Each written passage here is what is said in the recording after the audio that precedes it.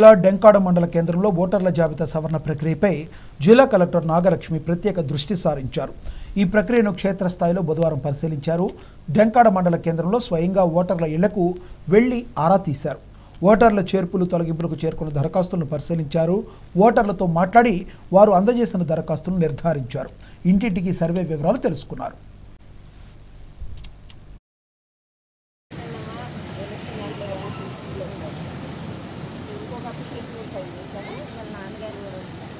ప్రతి సన్యాసం ప్రత్యేకంగా అలా అయితే ఏం కాదు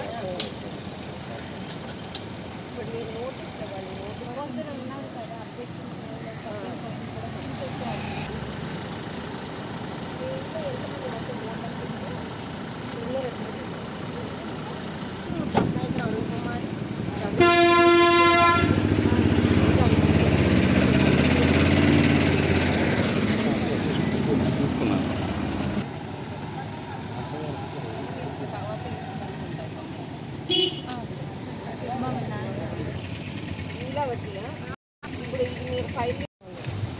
అమ్మ కొద్దిగా అమ్మ డిటి గారు.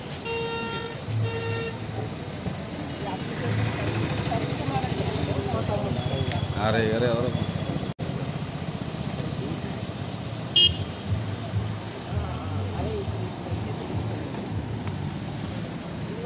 వెనకాల ఇలా వస్తుంది చూసి పెట్టండి